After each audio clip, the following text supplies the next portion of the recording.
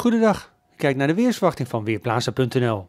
Op de satellietfoto zien we enkele wolkenvelden, maar wat we niet zien zijn de mistvelden die her en der aanwezig zijn. Vooral in het westen en zuidwesten en in het noordoosten en oosten komt dichte mist voor. Die mist die zal rond 9 à 10 uur overal wel opgetrokken zijn. Daarna hebben we flink wat zon in het noorden en oosten. In het westen en zuidwesten is het veelal bewolkt. Zien we ook terug in de temperaturen. Onder het wolkendek 9 tot 12 graden. En daar waar de zon lekker schijnt kan het kwik zelfs oplopen tot rond 17 graden. Vanavond begint het uh, bewolkingsgebied zich langzaam weer uit te breiden. En in de nacht wordt het dan overal bewolkt. Geen koude nacht, minima tussen de 4 en de 6 graden. Morgen overdag trekken de wolkenvelden langzaam van noord naar zuid weg. Vanuit het noorden dus steeds meer zonneschijn en daar dan ook de hoogste temperaturen. In ieder geval 11 graden. Als het echt mee zit kan het zelfs 13 graden worden. Onder het wolkendek in het zuiden wordt het ongeveer 10 graden.